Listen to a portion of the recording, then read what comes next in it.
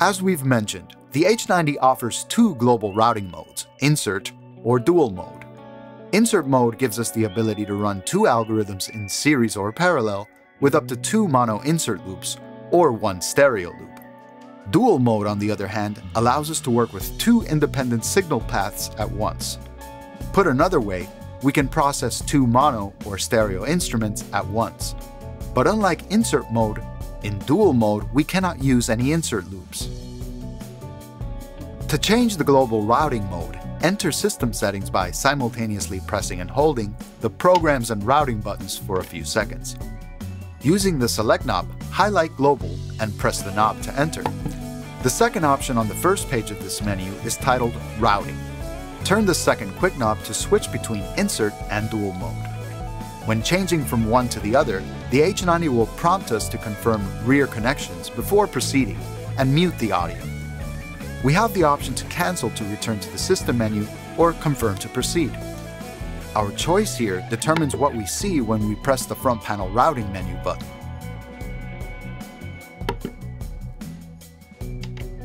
When the H90's global routing mode is set to dual mode, we can work with two independent signal paths at once.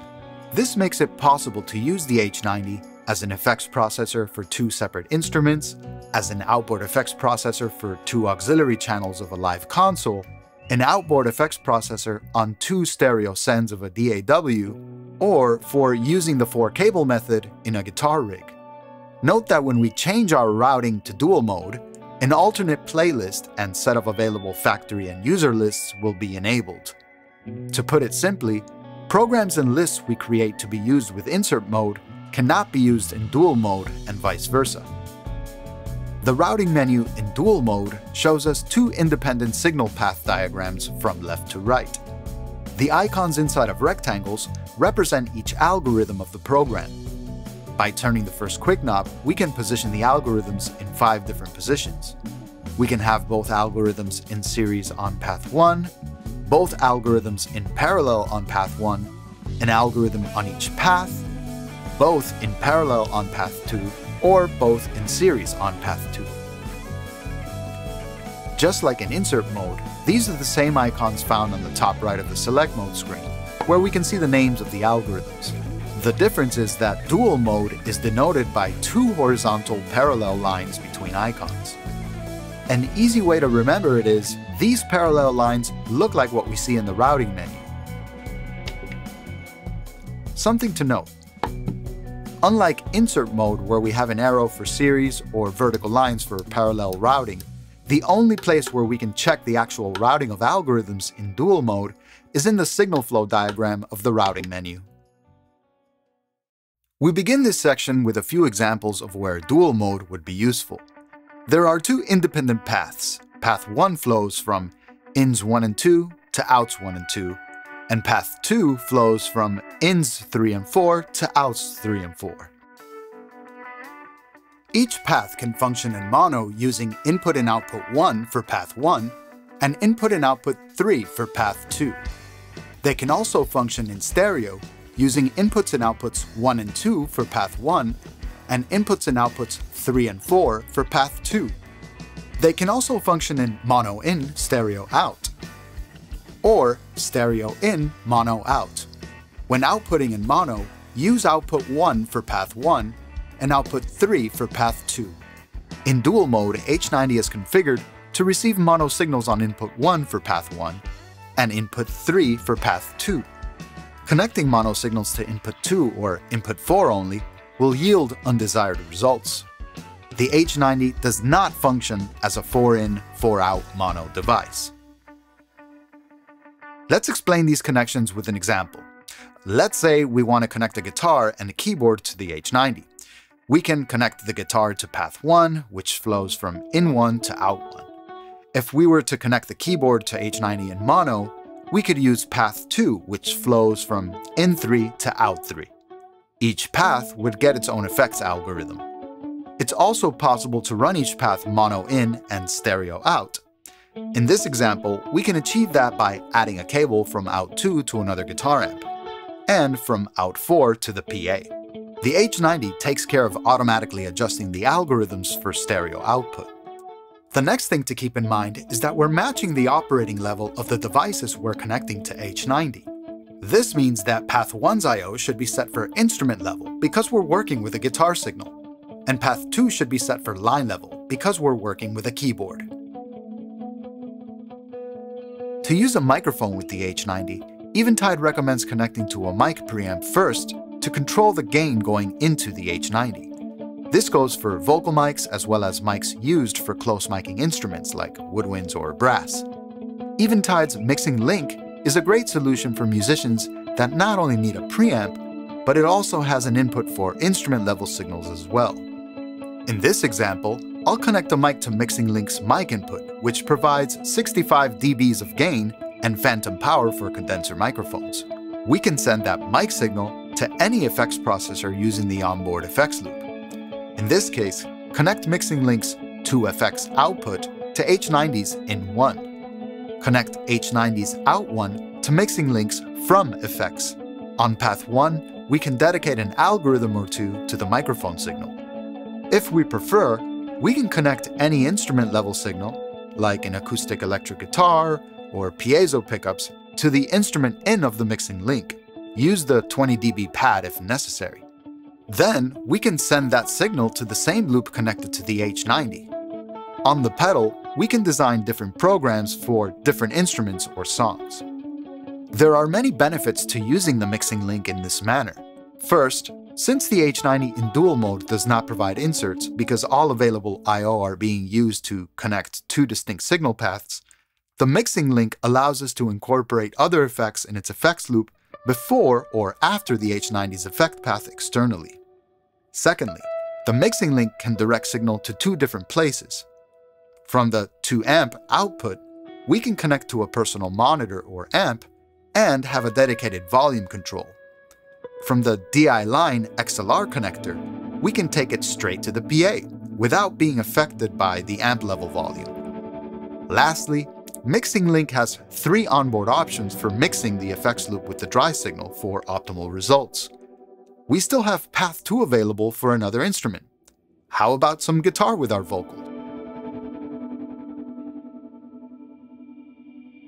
Early on, we connected the H90 to the front of a guitar amp.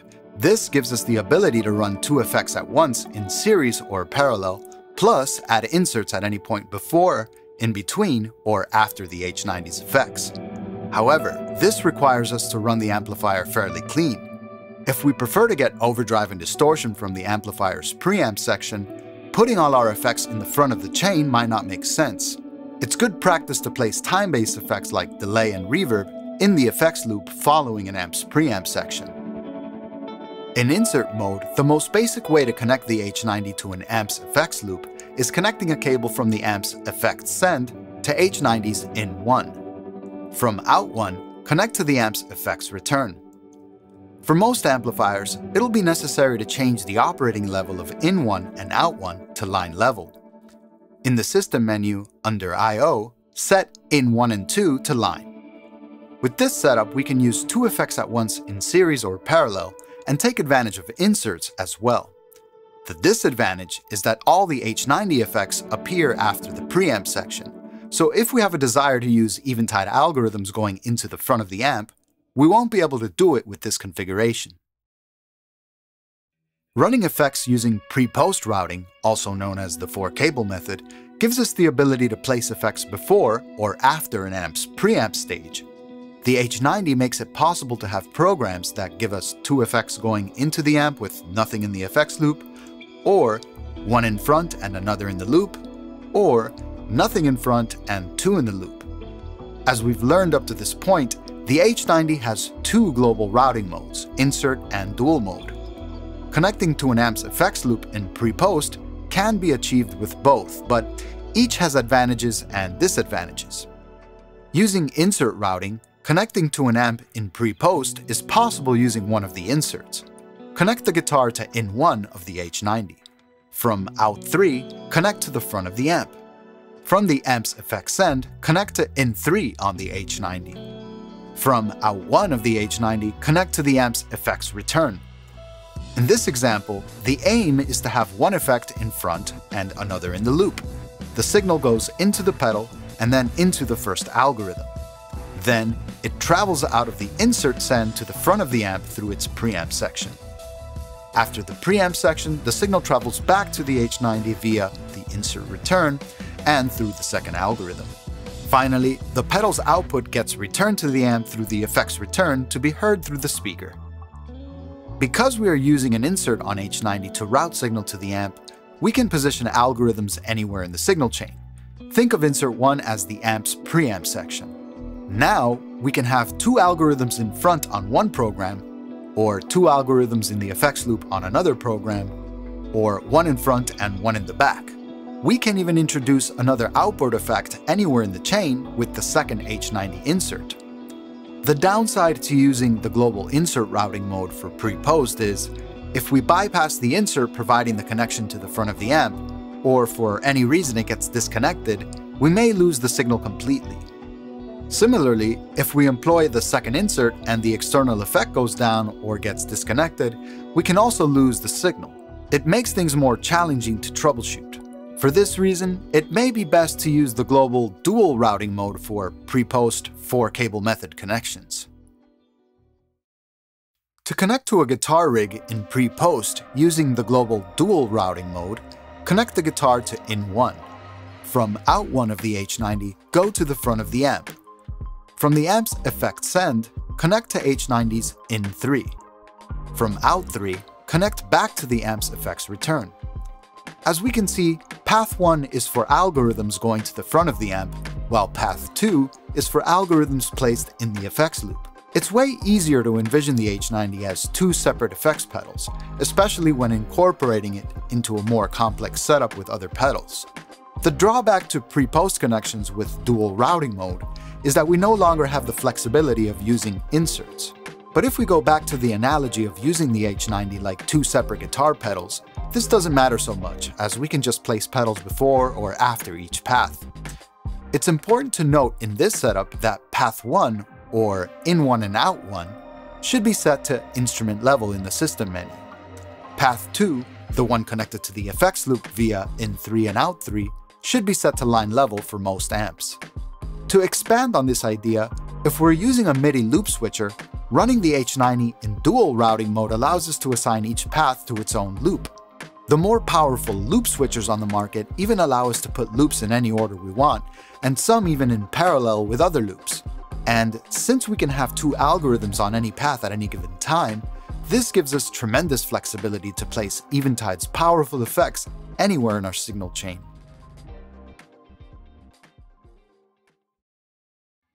The H90 makes it easy to build wet-dry rigs, where we have a dedicated amp for the dry signal and another amp dedicated to wet effects. It's crucial that the wet effects have kill dry set to on, as the wet amp should not be sent any dry signal. We can take it a step further by adding one more amp to the wet effects section for true stereo in a wet-dry-wet setup. Traditionally, these setups require a splitter to take the post-dry effects signal and send it to both the dry amp and wet effects chain. Using H90's insert architecture and internal parallel splitting, we have the tools necessary to achieve such configurations with the added benefit of repositioning effects in the signal chain on a program basis. To set up a wet-dry rig using the H90, we'll place an insert first in the chain as our splitter. Connect the guitar to input 1 of the H90. Connect out 3 to the dry amp input. Connect out 1 to the input of the amp for wet effects. In this setup, the insert will serve as the way we take the guitar signal and split it to the dry and wet amps. For this to work properly, the insert mix parameter found in the routing menu must be set to 0%. Only then will the insert behave like a splitter. Now we can place our dry effects before the H90 and use both algorithms after the insert for our wet effects chain. Having said that, in true wet-dry or wet-dry-wet rigs, it's not advised to put wet effects in series with each other. Just imagine the result we'd get from putting a fully wet delay into a fully wet reverb. If this is the vibe we're after, we can program the P button in perform mode to mute the insert output to the dry amp. we'll be able to achieve extra wet beds of sound without dry signal. This configuration nonetheless results in effects too dense for most applications. To solve this, some users might have the first effect's kill dry set to off and the second effect's set to on, just to preserve some of the dry signal through the first effect. It's common to do this for certain combinations of effects like putting modulation in series with a delay, or a delay in series with a reverb. Nonetheless, because dry signal is present in the wet section, this configuration is not a true wet-dry setup.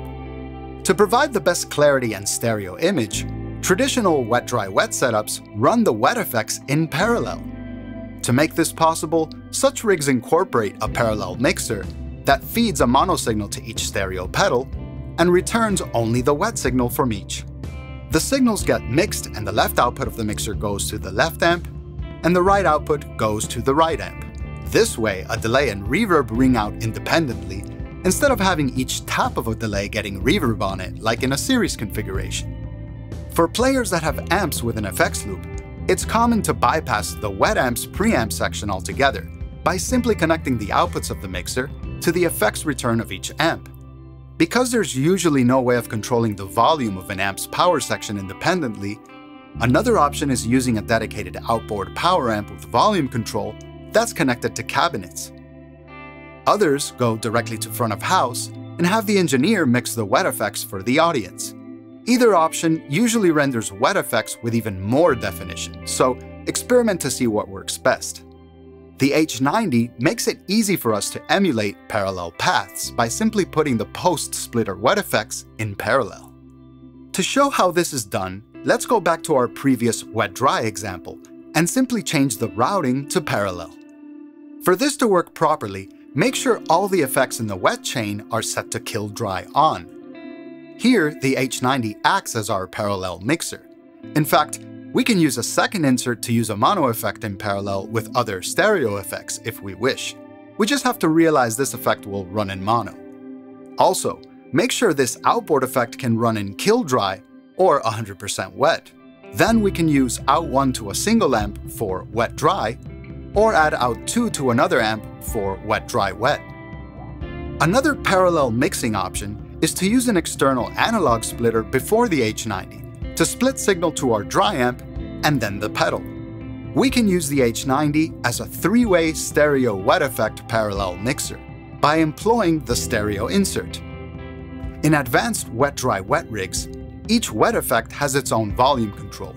Similarly, on the H90 we can use the extensive expression mapping to control wet effect levels and create custom multi-parameter ranges of control for things like effect depths and or feedback levels. In wet-dry rigs where we prefer to use the dry amp's preamp section for its tone, we can connect the guitar to the dry amp's input. From the amp's effect send, we connect to in1 of the H90.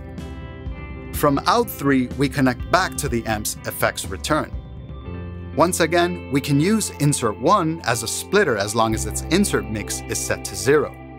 The advantage here is we get to use the preamp section to shape our tone and pass it on to the wet effects chain. This sounds better in cases where the wet effects chain is not going to the front of an amp, but rather directly to a power amp that does not have any tone shaping capabilities. We began this section discussing the advantage the H90 has with its configurability on a program basis. For example, on one program, we could use preset A as a dry effect in front, like a wah-wah, EQ, compressor, overdrive, distortion, or pitch effect.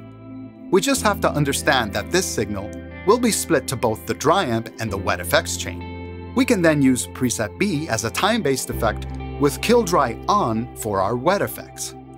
On another program, we can get creative by splitting our clean sound on a parallel path.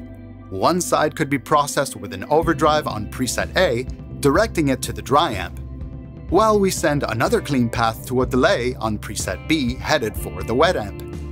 By setting insert 1's mix to 100%, we make sure the overdriven signal does not get mixed with the clean delay path. The main point is, we can use H90's routing to come up with all sorts of unique blends and interesting combinations. Earlier, we learned how to use the H90 in dual mode to process two instruments at once. However, this required us to direct the signal of each independent path to its own set of outputs. But what if we would like to process two instruments at once through the same effects? Using insert routing mode, it's possible to make the H90 function like a mixer. To explain how this works, I'll use two stereo synths. Beginning with the default series routing, create a stereo insert and place it first in the chain. Connect one instrument to ins 1 and 2. Connect the other to the inputs of the insert on ins 3 and 4. Set the insert's mix parameter to 50%. This way the H90 will mix both signals equally. Otherwise, if insert mix is set to 100%, the signal chain would be broken since there's nothing coming from outs 3 and 4. Lastly, connect outs 1 and 2 to your stereo monitoring system. In this configuration, both instruments get processed by preset A and B in series. If we wish, we can position our presets in parallel as well. Here, if we move the stereo insert to the front of one preset, Synth 1 will go through both presets in parallel, while Synth 2 will only be processed by a single preset. By setting the insert mix parameter to 100%, it's possible to process each instrument with its own algorithm. Doing so will cut off the split signal from the first synth and only direct it to preset A. The second synth will only go through preset B. The output of both will be mixed. If we now place the stereo insert between presets and set the mix to 50%, we can process synth 1 through presets A and B in series, and synth 2 through preset B only. Finally, placing the stereo insert at the end of the chain prevents synth 2 from being processed at all, while we can use serial or parallel processing for synth 1. Not only are these options useful for multi-instrument rigs, but the H90 can serve to mix more than one musician. To demonstrate this, let's go back to the one preset per instrument example. Switch the stereo insert for a mono insert, and now we'll be able to connect an instrument to input 1 and a second instrument to input 3. Set the insert mix to 100%. Connect out 1 to an amp. Now, two musicians can play through the same amp, but have their own effect. The H90 takes care of mixing the signals for us. We can take things a step further by adding one more musician. Open up Insert 2 and place it in parallel with preset A and B. Connect that instrument to input 4, which is the input of that insert. Set the Insert 2 mix to 100%, so we don't get any signal from the first instrument. In this configuration, the first instrument gets processed through preset A, the second instrument gets processed through preset B, and the third instrument simply gets mixed with the other two signals and sent to the same output. We can even use outs 1 and 2 to take the signal to a PA instead. Keep in mind it's important to set the appropriate operating levels for these inputs. In this example, we want to make sure ins 1 and 3 are set to instrument level for guitars, and in 4 is set to line level for keys. The outputs should be set to instrument for guitar amps or line level for PAs. Dual mode on the H90 allows live sound engineers to use the pedal as two independent mono or stereo effects processors. If the console has two auxiliary sends, connect one aux send to in1 on the H90. From H90's out1, Connect to the aux return or an available channel on the mixer dedicated to effects. Do the same for the second aux send using IO3 on the H90. In the routing menu, place an algorithm on each path.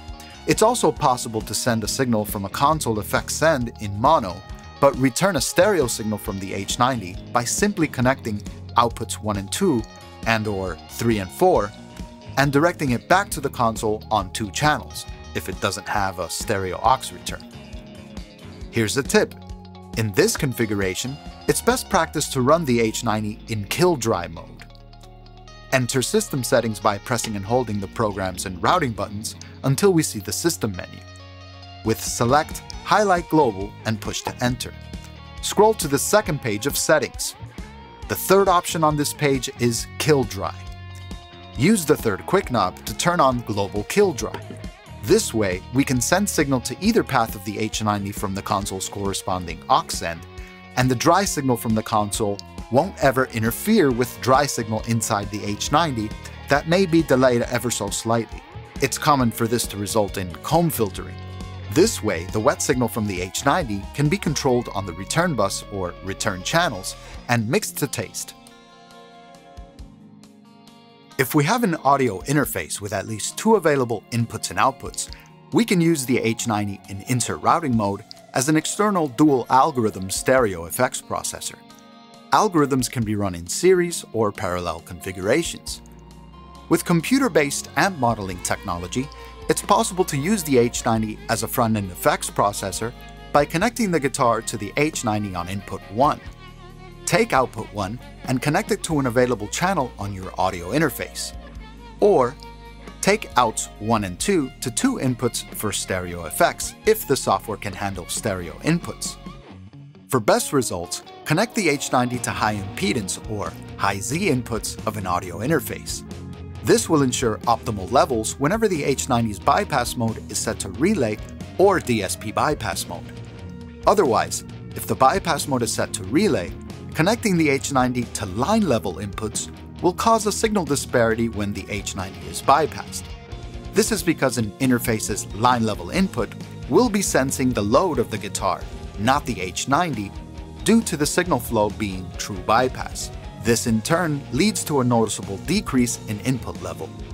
If the interface does not have high Z inputs, there are two solutions. Number one, use the H90 in DSP bypass mode, which automatically optimizes the output signal for inputs with mismatched impedances. Or number two, connect the H90's outputs to a direct box or two, and connect those outputs to mic inputs of the interface, the key objective is to achieve level parity when the H90 is either active or bypassed. Once those connections have been made, open your favorite standalone amp modeling software and select the inputs where the H90 is connected as your input source. This emulates connecting the H90 directly to an amp or stereo amps if the software can handle it. If you're working with a DAW, open up a mono or stereo track and set the input channel to the ones that correspond to where the H90 is connected. Put the amp model on the insert and make sure the DAW is set up to monitor that input. In Pro Tools, for example, it's necessary to turn off low latency monitoring mode in the options menu to hear the signal going through the model. Otherwise, we'll only be able to hear the effects of the amp model after we've recorded the raw signal from the H90. If we switch the global routing to dual mode, the H90 can act as two independent stereo effects processors, one on each path. This requires the use of an audio interface with at least four in and four outputs. Take any available stereo output to H90's in 1 and 2. From H90's out 1 and 2, connect it to an available stereo input pair. This is path 1. Take another stereo output pair from the audio interface and connect it to ins 3 and 4 on the H90. Take the pedals out 3 and 4 back to another available input pair on the interface. This is path 2. On the pedal, assign an algorithm to each path, or we can design programs with up to two algorithms for any active path. Lastly, for this setup, we recommend setting the I.O. on the interface to minus 10 dB and H90 to line level operation for best results. It's important to understand that when monitoring external digital effects, it's always best practice to calculate the system's round-trip latency from the outs of the interface through the processor in DSP bypass mode and back into Pro Tools. For this to work, make sure delay compensation is checked in the options menu. Begin the process by recording a click track. We can use Pro Tools click instrument and bus that signal over to another track. Here, I'm using bus 1 and 2. We record enable this track and print the click. Then, we'll record that printed click through the H90 on another track.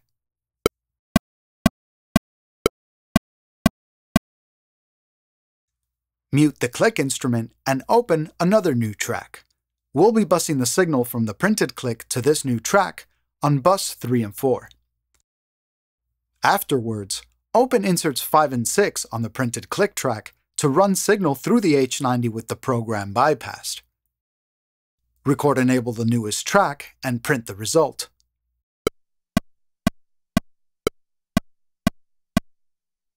We can then measure the latency in samples between the two waveforms and divide that figure by our sample rate. In this case, there's 728 samples of latency in my system. I'll divide that by 48 for 48,000 Hz and get 15.17 milliseconds of delay. With this calculation, we can apply that offset to the hardware insert where we have the H90 connected. Overall, latency depends on your computing system, interface, and buffer settings, so make sure these stay consistent from project to project. With delay compensation enabled, we can then place the insert directly on the track we want to process with kill dry off, so that we can hear the dry signal along with the effect. Any effects from inherent latency in my system will have been corrected with our delay compensation calculations and render an aligned signal.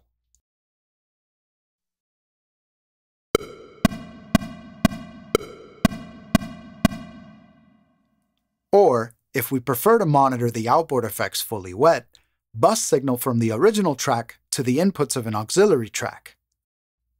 Place the H90 insert at the top and make sure the H90 is set to kill dry on. Setting the H90 to kill dry makes sure the effect return is fully wet and eliminates any type of comb filtering that may yet occur. Just remember, if we change our sample rate, we'll need to conduct this process again. We hope you've enjoyed this comprehensive H90 tutorial.